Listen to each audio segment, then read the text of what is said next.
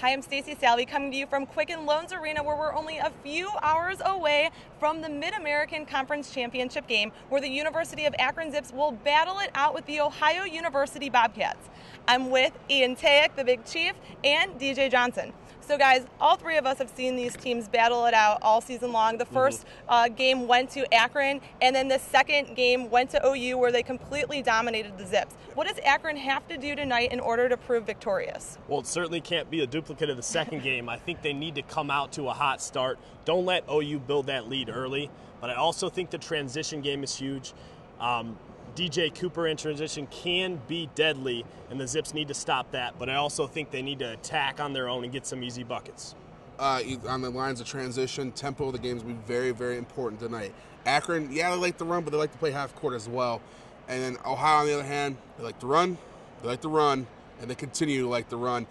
Get Cooper in the open floor, use his wings like TJ Hall, who had a big game last night, mm-hmm. uh, Walter Offutt, Nick Kellogg, if those guys can get going uh, that's what OU wants to do. Another thing is um, the bigs for Akron have to play good tonight, have to be a major factor in this. Tree, Cvetinovic, and obviously the tournament MVP from a year ago, Zeke Marshall. Those guys got to play huge tonight and uh, keep keep OU off the offensive glass. If they can do that, that will help out in trying to get a W here tonight. Okay, so the senior Nick Cvetinovic, he started out strong and he was solid throughout the whole entire game for Akron. And then for OU, TJ Hall, you touched on that, and DJ Cooper, definitely the guys you didn't want to mess with last night. So who has? We'll have to have the X factor tonight. Who who do you think, DJ? I'm going on the OU side of things. I think it's Keely because I think Akron holds that advantage down low on paper. So I think a guy like that to get some buckets inside, but also grab some offensive boards and defensive boards, I think will be huge. And then on the zip side of things, I think it's a guy like Gilliam or maybe a Walsh, a guy that's maybe not necessarily a role player, um, but a guy like that needs to score double figures the night for the Zips to take this win.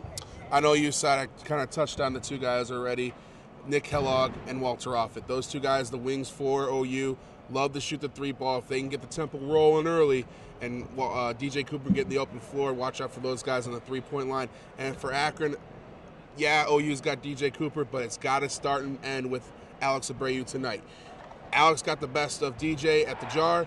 Abreu got the best of, uh, or DJ got the best of Abreu at the convo. Mm-hmm. That's going to be probably the key matchup to watch. And let's be quite honest, these two just don't like each other, and uh, you know tensions will be high inside the queue here tonight. It'll be interesting to see on a neutral setting what happens. Yeah, huh? right. Yes. Okay, so now predictions. I know your favorite part of the show. So you were pretty pretty close yesterday with yes. a four point margin. What are your predictions for tonight's score and final outcome? So I went 68-64 yesterday. It ended up 78-74. So you're right. I was pretty close to that margin. And this morning I was thinking you know, I'm, I'm duplicating last night. I think it's going to be a 68 64 ball game. Zips take the win. I think the depth, like we mentioned yesterday, is just too much for OU. Uh, when they, they faced, they, they, they took off, faced each other in 2010 in the championship game. The score was 71 65. OU won that one. I like that score again, but flip the teams. I like Akron 71 65. I think Akron's depth, as you said, DJ, a little bit too much in this one. OU had two physical games against Toledo, and especially last night against Buffalo.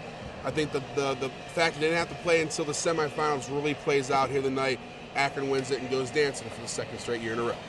Okay, well, dreams will be made tonight and some hearts will be broken. I'm Stacy Salvi, Ian Tig, DJ Johnson. Tip off between Akron and OU is at 8 o'clock tonight at the Q. We'll hope to see you there and go Zips.